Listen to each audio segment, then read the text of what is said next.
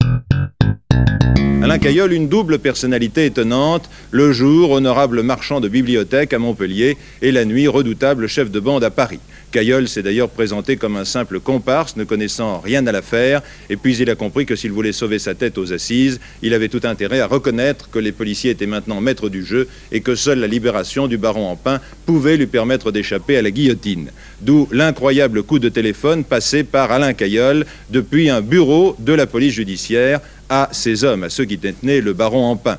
Nous allons revenir en détail sur tous ces points qu'un auteur de série noire n'aurait jamais osé imaginer, mais d'abord les circonstances de la libération du, baron en pain avec Christian Barquissot. Place de l'Opéra, un homme sort de la station de métro et entre au drugstore.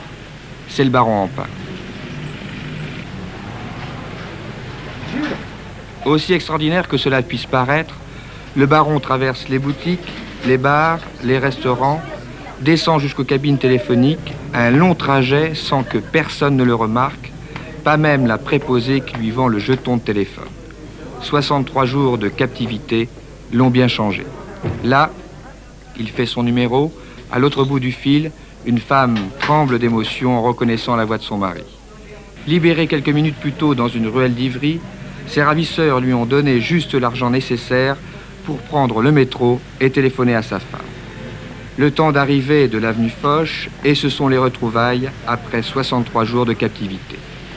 Le baron Empin, très fatigué, demande aux policiers de rentrer d'abord chez lui. Il parlera après avoir un peu récupéré.